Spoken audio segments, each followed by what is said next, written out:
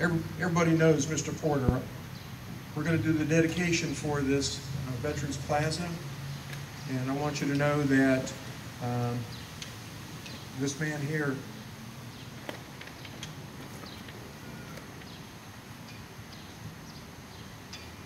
sorry, each and every one of you, he loves us. He loves the veterans and what we do, and he was willing to do something on, on a moment, one meeting, and asked, what can we do to make this better? Ladies and gentlemen, Mr. Porter.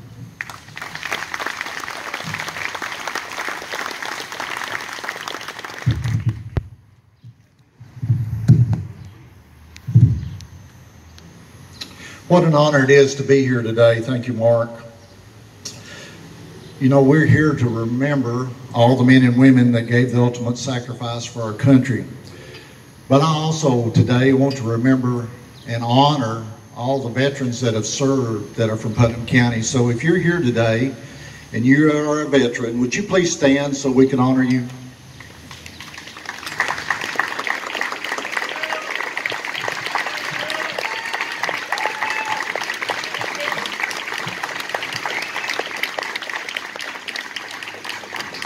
Thank you for your service and what you did for our country. We'll never forget it.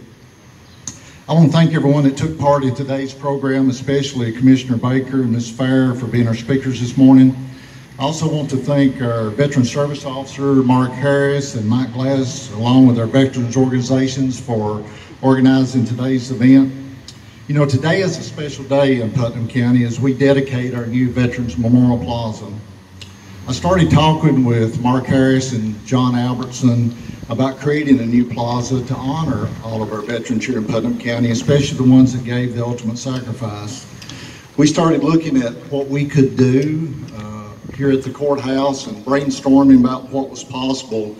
And after about two years, some things got in the way. We wanted to do it quicker, but we had a devastating tornado that hit Putnam County.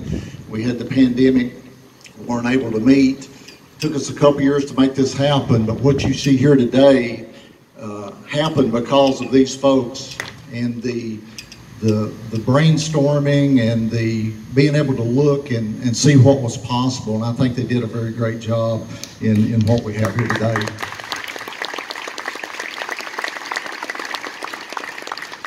The Veterans Plaza was designed that it would be here for many, many years to come to be able to honor our veterans. We moved our wall from down in the corner to where it is today. You know, after I came in office in 2014, I watching on a day-to-day basis of our veterans, some in wheelchairs, some on walkers with canes, coming, standing down on the very corner to look at the wall and to read the names and to remember. Uh, I got concerned that all it would take is a vehicle uh, swerving a little bit out of the way could be a disaster. So we wanted to move it to where that it would be safe and everyone could be able to come and see it to read those 163 names that are on the wall. We did the six service flags in recognition of the service organizations of the military. We built and created a new eternal flame that we'll talk about just a little bit later on. And I think we created, through the thoughtfulness and, and vision of several people, uh, a great Veterans Memorial Plaza here at the courthouse. You know, the names on the Putnam County Memorial Wall are those we hold in high esteem. To the men and women who served our nation with honor and distinction during a time of turmoil and who walked into the valley of the shadow of death and paid the ultimate sacrifice for our freedom. We rededicate our memorial that continually reminds us the cost of freedom, and the eternal flame reflects the light of each who paid it. I think President Reagan said it best, and we actually put it on our new memorial. And if words cannot repay the debt we owe to these men, surely with our actions, we must strive to keep faith with them and with the vision that led them to battle and to final sacrifice. As any project is, we had a lot of partners involved in this, and I'll thank those a little later on. But one of our partners was the city of Cookeville that we constantly work with on a day to day basis. Uh, I have to say, we have a great group of elected officials here in Putnam County, whether it be the county elected officials or state elected officials, city officials, we all work great together. And I think that shows here in Putnam County and it has allowed us to achieve all the great things we have. I'd like you to help me welcome this morning my good friend, Cookeville Mayor Ricky Shelton to come up here.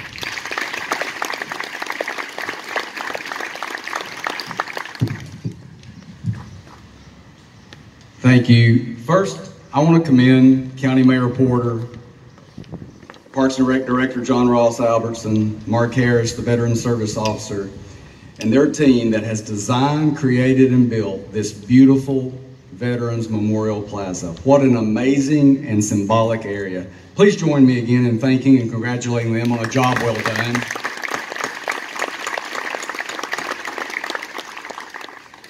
Today we remember and honor brave men and women who have fought and paid the ultimate sacrifice. It takes extreme courage to defend duty, honor, country. I believe it's important and it's necessary in light of occurrences in our nation that we show honor where honor is due. That we prove we are a people who will not sit, kneel, or be idle when given an opportunity to salute our nation's heritage and heroes. True patriots throughout the history of our country have proven that the nation's fate has always rested on those who would stand, brave individuals who would honor our flag and country and all it represents. Our veterans deserve the honor due them. President John F. Kennedy gave some sage advice years ago when he said, as we express our gratitude, we must never forget that the highest appreciation is not to utter words, but to live by them.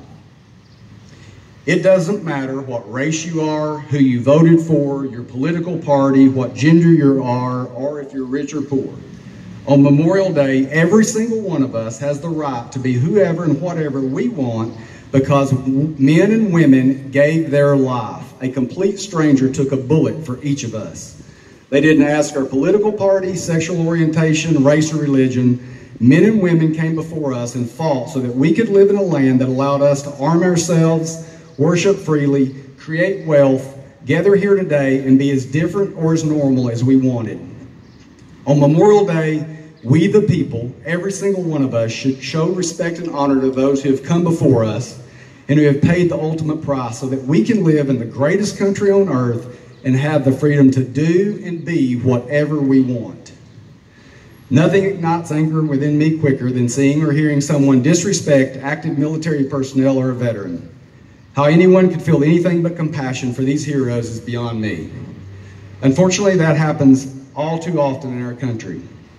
But here in Cookeville, we will always show honor and appreciation. John 15, 13 says, Greater love has no one than this, that a person will lay down his life for his friends.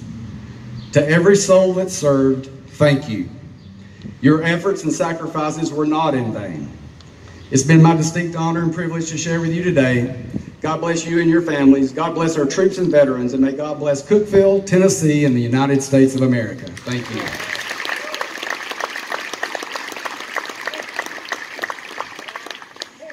Thank you, Mayor Shelton, and thank you for everything that uh, you do for us.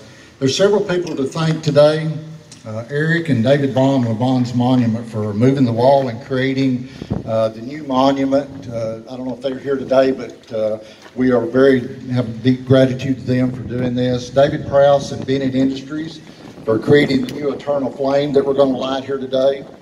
Mark Harris and the Veterans Organizations for helping us with the design of this plaza. Dennis McBroom and Daryl Tucker in the maintenance department for helping put all this together.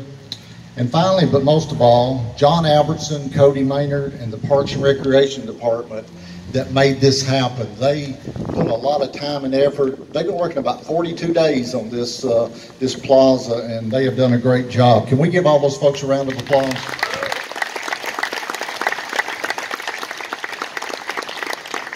Also, would like to thank Stonecom Radio for being here today, for, for providing the sound system, and for live broadcasting today's event.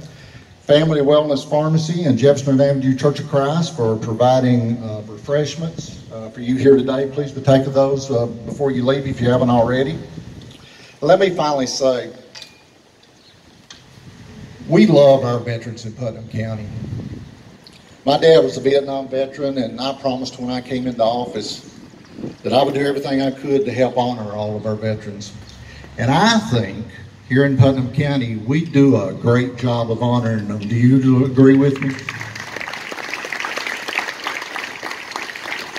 As we dedicate the new Veterans Memorial Plaza today, we'll be raising the six service flags, lighting the eternal flame, and placing the wreaths.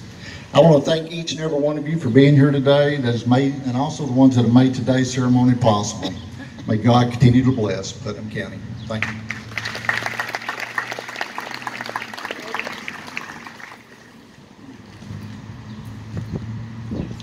As you can see, we have a Veteran Service Organization team that'll be raising the colors. We have American Legion Post 46, Steve Ogie. We have American Legion Post 135, Bill Kelman. Disabled American Veterans, Chapter 117, Tracy McKay. Vietnam Veterans of America, Chapter 741, Red Demery. VFW, Veterans of Foreign War, Post 6296, Jimmy Loftus.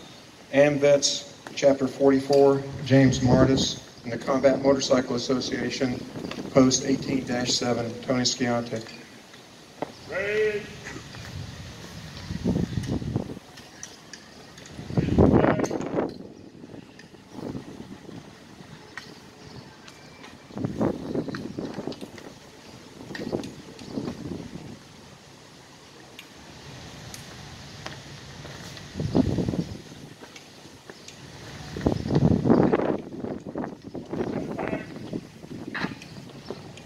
And salute.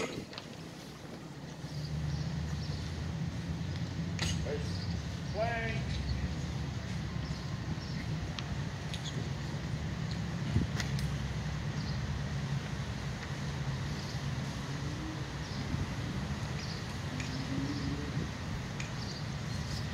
Forward, call.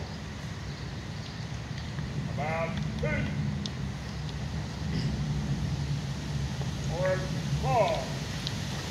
The laying of these wreaths on our uh, monument of fallen heroes symbolizes our respect for each name on our wall and demonstrates that our heroes are not forgotten but remembered with pride and honor for their service and sacrifice they rendered to our nation and community. Ladies and gentlemen, please rise as Chaplain Ritter will give our benediction and remain standing for the placement of the wreaths uh, by our service